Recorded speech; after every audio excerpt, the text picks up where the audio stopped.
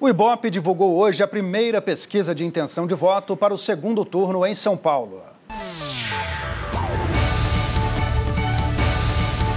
Bruno Covas, do PSDB, que tenta a reeleição, aparece com 47%. Guilherme Boulos, do PSOL, tem 35%. Votos brancos e nulos somam 14%. Não sabem ou não responderam 4%.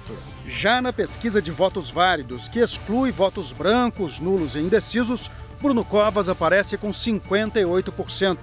Guilherme Boulos tem 42%. O Ibope ouviu 1.001 eleitores entre os dias 16 e 18 de novembro. A margem de erro é de 3 pontos percentuais para mais ou para menos. O nível de confiança é de 95%. A pesquisa contratada pela TV Globo e pelo jornal O Estado de São Paulo foi registrada na Justiça Eleitoral.